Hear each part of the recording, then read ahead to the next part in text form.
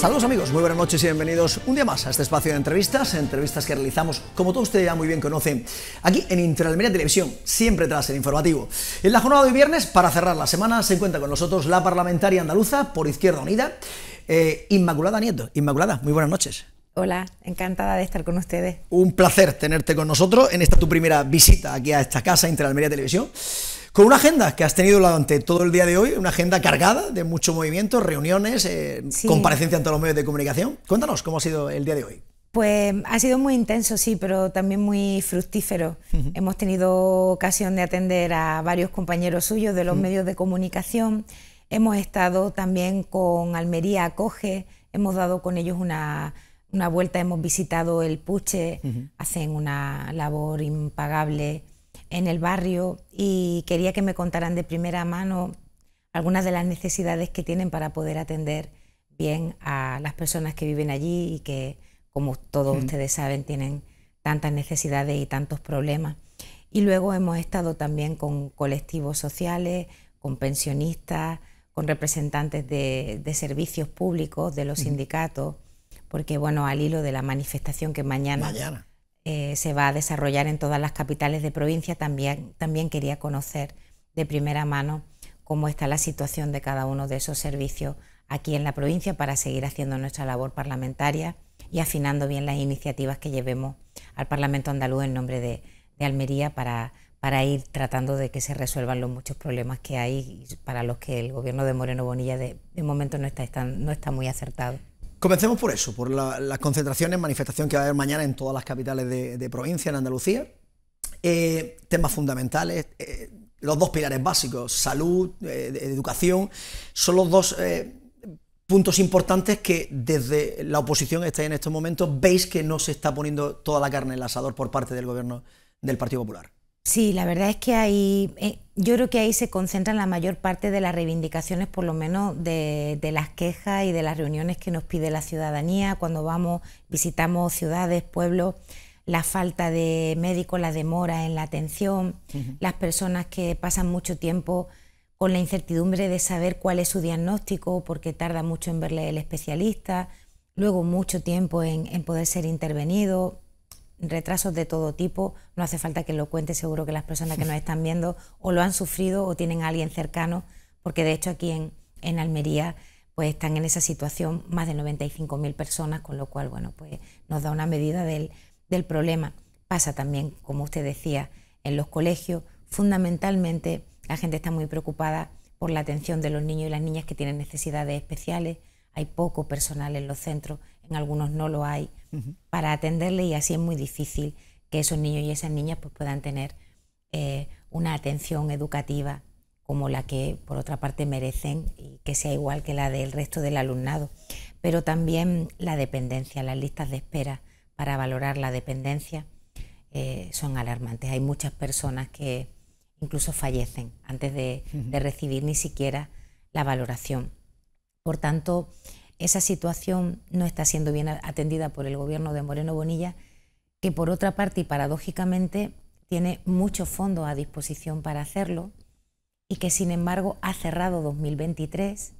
Nos han entregado los datos de liquidación del presupuesto de la Junta de Andalucía 2023 la semana pasada.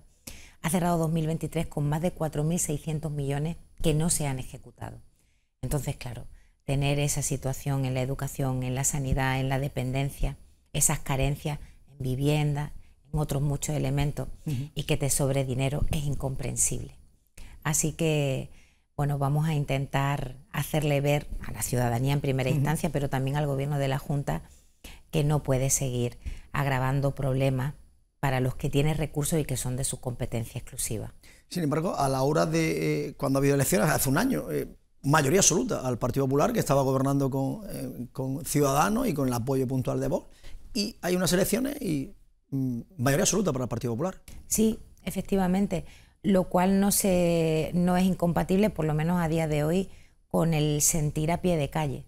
La ciudadanía está disgustada y el disgusto es creciente, porque hay muchas situaciones incomprensibles, que no haya una alternativa para la vivienda que necesita la gente joven, que todavía lo hay, que no ha cobrado la ayuda del bono de alquiler, que salió hace dos años que no se tomen decisiones sobre los apartamentos turísticos en las zonas donde eso está haciendo más daño, que haya sobrado pues, casi, casi no, más de 200 millones de euros de infraestructura hidráulica con la que está dando el gobierno de Moreno Bonilla, con la falta de, con la falta de, infraestructura hidráulica.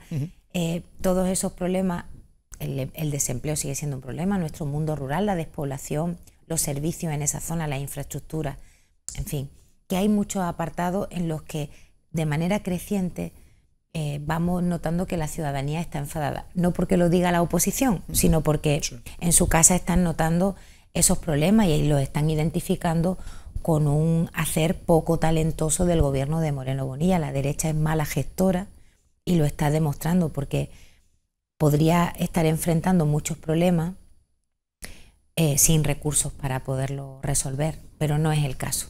Tiene mucho dinero y ni siquiera es capaz de, invertirlo y eso es muy grave.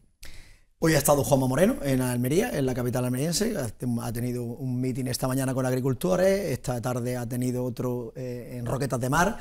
Eh, ¿Qué nota le pondría al Partido Popular, al gobierno de Moreno Bonilla, en este primer año de gobierno de mayoría absoluta? La verdad es que, bueno, yo no le daba el aprobado tampoco antes, pero ahora peor, si me permite, porque la mayoría absoluta le ha sentado muy mal al Partido Popular.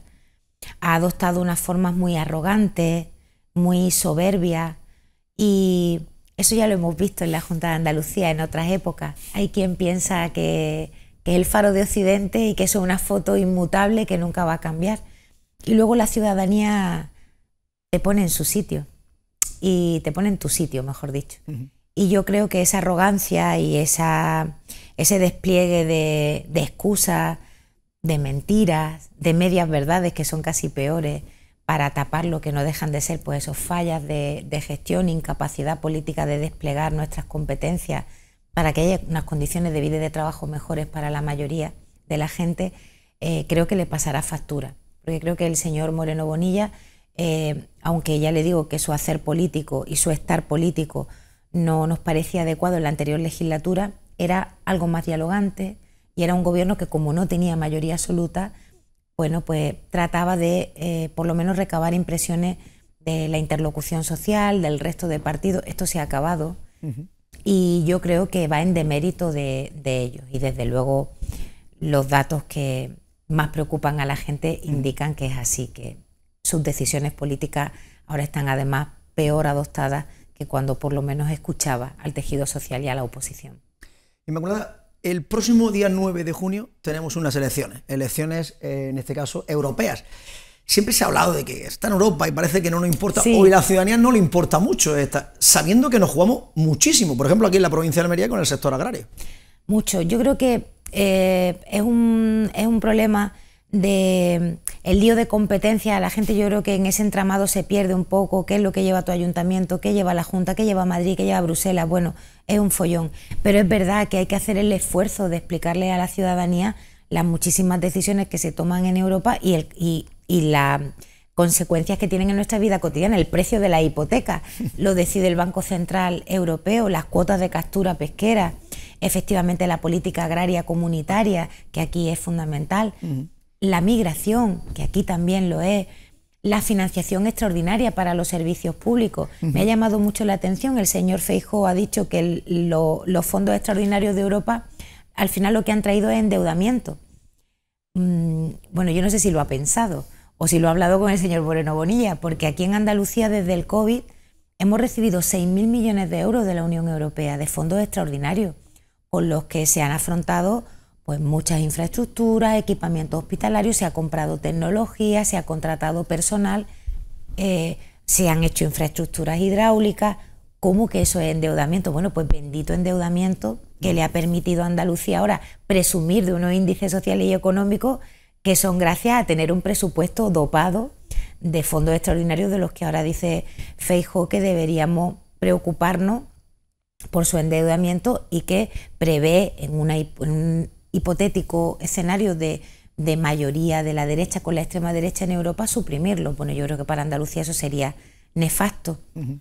Inmigración, tema importante. Propuestas que se ponen encima de la mesa, para ahora en Europa por la situación. Estamos viendo como en Canarias están llegando los cayucos y los inmigrantes vienen a, se va repartiendo por toda España, pero se van tocando ciento y pico, y más una provincia de Almería como la, como la que tenemos.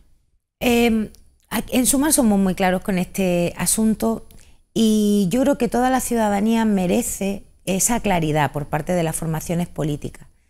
Eh, he tenido ocasión de oír las declaraciones del alcalde de elegido por la estancia de los migrantes que están a la espera de la resolución de, sus solicitudes de asilo y me parece de una hipocresía tan grande que se hablen esos términos de personas que en este caso están pendientes de, de, la resolución de asilo, pero en general personas que vienen a ganarse la vida, que contribuyen a la riqueza de nuestra tierra y que tienen perfecto derecho a tener derechos y obligaciones. Y contribuir, contribuir con sus impuestos, cotizando para las pensiones futuras, para el sostenimiento de los servicios, en igualdad de condiciones que el resto de trabajadores y trabajadoras que también se levantan por la mañana a sus quehaceres y a llevar su salario a sus casas de familia. ¿Por qué le decía lo de la hipocresía? Porque la derecha europea, el Partido Popular Europeo, ha votado en contra en la Unión Europea de que entre todos los Estados miembros haya una distribución de las personas migrantes que llegan, claro, que llegan en primera instancia por los países que hacen frontera con los suyos, con los del sur de Europa, para no indisponerse con sus compañeros y compañeras del Partido Popular de los países del norte. Entonces, mientras que aquí lanzan mensajes que incitan al odio y a la xenofobia hacia comunidades que son imprescindibles en nuestro sector primario, creo que aquí no hay que explicarlo, allí lo que hacen es bloquear las iniciativas que efectivamente atendiendo a que esto es un problema eh, para el que una zona muy concreta puede no tener recursos suficientes para atender dignamente a estas personas, lo normal, lo lógico, lo razonable es que entre todos los estados de la Unión se distribuyan estas personas y puedan emprender ese eh, modelo de vida que legítimamente tienen derecho a intentar, porque cualquiera de nosotros, si tuviera que sacar adelante a sus hijos en un sitio en el que no tuvieran futuro, pues también se jugaría la vida como ellos para tratar de darles un futuro mejor. Creo que eso también lo entendemos toda la gente.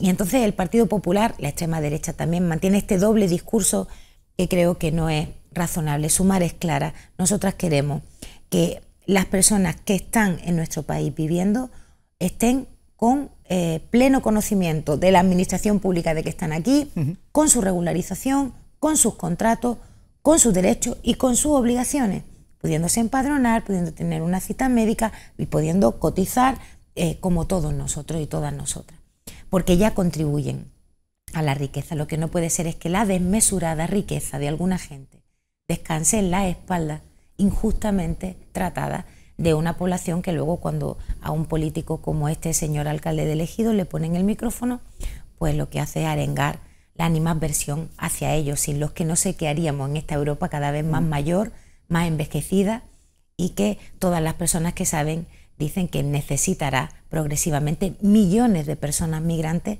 para poder mantener sus sistemas productivos y las cotizaciones de las pensiones que necesitaremos cuando seamos mayores los que ahora estamos trabajando. Seguridad, que viene también un poco con el tema de la inmigración, por el tema de las narcolanchas. Estamos viendo en la provincia de Almería últimamente eh, como desde la zona de, de Andalucía, de Cádiz, de Huelva, han venido a la zona la falta de efectivos, la falta de... Y vamos viendo cómo diariamente estamos entrando en narcolancha y las quejas de los guardias civiles, las quejas de los policías nacionales, etcétera, etcétera. Mm, mire, yo soy de Algeciras, del campo de Gibraltar, conozco bien este tema y la verdad es que esta, este binomio que se trata de poner sobre la mesa de inmigración e inseguridad es falso, es falso. a la economía criminal se dedican personas de muchas nacionalidades en nuestra tierra. Se habla de Cádiz, se habla de ahora de Almería, se habla de, Huelva. Nunca hablamos de la Costa del Sol. Nunca hablamos de la Costa del Sol.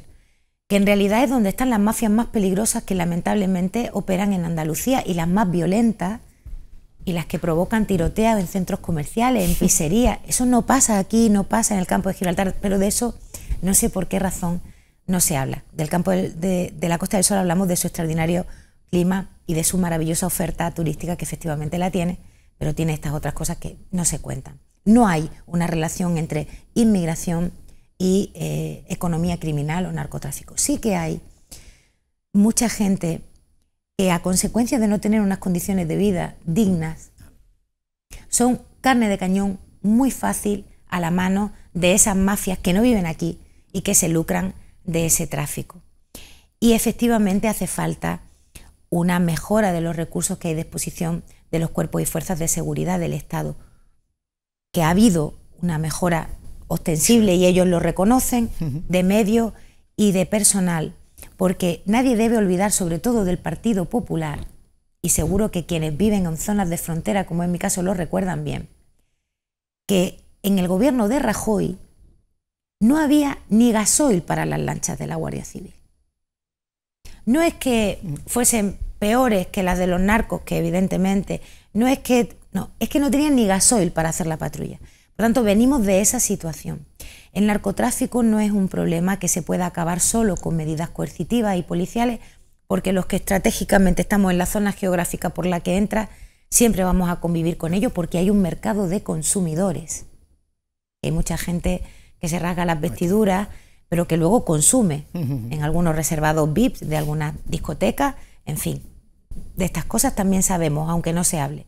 Por tanto, hay que garantizar una seguridad en la frontera y un auxilio a, toda persona que con mala mar se está ahogando. También hay que asegurarle que no va a perder la vida ahogada y los demás mirando para otro lado, porque eso es un desafío que nos debe avergonzar como sociedad pero también hace falta una reflexión sobre esas condiciones tan duras, tan vulnerables de mucha gente joven, que al final acaba ganándose la vida en la economía criminal porque no hemos sido capaces de poner a su disposición una buena oferta formativa, una oportunidad laboral y unos recursos para poder tirar de un proyecto de vida. Mm.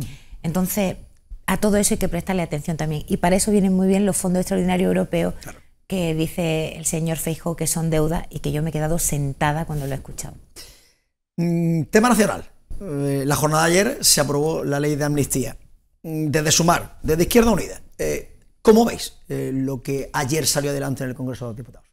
Lo primero que lo vemos es democrático, porque como ahora se están diciendo tantas tonterías, es una decisión adoptada por el Congreso de los Diputados, por una mayoría democráticamente elegida por la ciudadanía que ha tomado una decisión que entendemos que debe ayudar a continuar con el enfriamiento de la tensión que tanto daño hizo no solo en Cataluña, sino en todo nuestro país. Como pasó con los indultos, que también se iba a romper España, iba a salir Gocila, nos iba a matar a todos, recordará usted la de tontería que se dicen por parte de la derecha y la extrema derecha, porque a falta de una crítica que se pueda hacer sobre la política, porque claro, con un salario mínimo interprofesional que ha subido un 54%, con unas pensiones revalorizadas, lo que ha subido el coste de la vida, con dinero, con transferencias para las comunidades autónomas para poder afrontar infraestructuras sensibles, con los ERTE, con la reforma laboral, claro, con todo eso sobre la mesa, y en lugar de colapsar y romperse España, la economía está entre las tres primeras de Europa. Pues como no pueden hablar de eso, pues ahora toca hablar de todo lo demás que un director de un colegio fuese a la cárcel por haber abierto el instituto para que pusieran una urna, me parece a mí que poco contribuye a la convivencia y a, pasar definitivamente página del tan traído y llevado proceso. Por tanto, la decisión que ha tomado el Congreso es una decisión democrática, es una decisión que entendemos que va a permitir seguir por esa senda como le decía, de relajación, de distensión, de recuperación de la convivencia en Cataluña, que es buena social y económicamente hablando.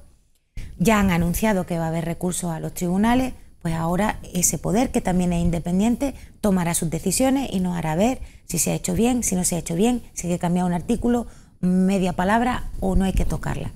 Eso es un sistema democrático. Yo creo que todo lo demás es querer eh, exacerbar un ánimo de enfrentamiento entre la ciudadanía por parte de la derecha y de la extrema derecha porque están sin argumento en lo económico y lo social, porque aunque ellos rabien, eh, la verdad es que estamos mejor con muchos problemas, pero estamos mejor haciendo una política social que está eh, tratando de no dejar a nadie atrás. Entonces, yo creo que ese es el foco que tiene todo este espantajo encima del tema. Ahora hablarán los tribunales y dirán lo que tengan que decir las elecciones catalanes, los catalanes hablaron han dado mayoría, en este caso, a los partidos constitucionalistas, dejando a los independentistas un poco más, han perdido esa fuerza que han tenido.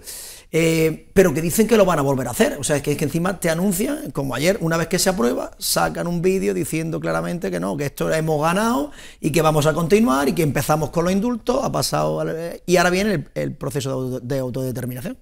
Yo creo que mm, en, en nuestro país ya tenemos madurez democrática como para poner en sus justos términos lo que decimos los políticos. Yo creo que sí. Porque si tuviéramos que creernos todo lo que dice el señor Feijó, el señor Abascal o cualquiera otro, ¿vale? Eh, y lo pusiéramos, lo comparáramos con su hacer, pues yo creo que tendríamos la medida de las cosas. Mm, las urnas han hablado allí. Y yo creo que las fuerzas nacionalistas o soberanistas o independentistas ya saben el respaldo social que tienen. Por tanto, bueno, pues podrán hacer muchas declaraciones, muchas ruedas de prensa, y expresar su, voluntad de volver a intentarlo, pero el apoyo social que tienen lo saben. Fíjese, yo por ejemplo soy republicana. Eh, y me encantaría que hubiera una tercera república. Yo no sé cuánto apoyo social tenemos porque el CIS hace años que no pregunta. Creo que seríamos muchos más de los que parece. ¿no? Eh, yo reivindico mi legítimo derecho a, hablar de la tercera república con normalidad democrática y creo que está bien que ellos con normalidad democrática también hablen de un futuro de, país en el que ellos pues se ven con, eh, su independencia y con sus cosas. Esto es la democracia. Tenemos que aprender a respetar en el perímetro de nuestra constitución y de nuestras leyes que cada uno exprese lo que, lo que considera legítimo y que con medios democráticos, no pinchándole los teléfonos a los partidos, lo de la policía, no, con medios democráticos legales pues cada uno hable con la ciudadanía y luego en la urna hable el pueblo que es el soberano. La última, Inmaculada. Eh, si te digo Antonio Maillo, ¿qué te viene a la cabeza? Porque nuevo líder, vuelve nuevamente, que sonríe, gran amigo de esta casa, de Interalmería Televisión, vuelve nuevamente a primera línea de batalla. Sí, bueno, estamos muy contentas. Eh, creo que hemos tomado una muy buena decisión en un momento eh, en el que era muy importante acertar. y lo hemos hecho muy bien y la organización está muy contenta. Yo podría hablar horas y todo serían cosas buenas de Antonio. Yo he aprendido mucho de él, he trabajado mucho con él y tiene merecidísimo el, respeto que le tienen los medios de comunicación y el resto de fuerzas políticas, sean aliadas o sean adversarios.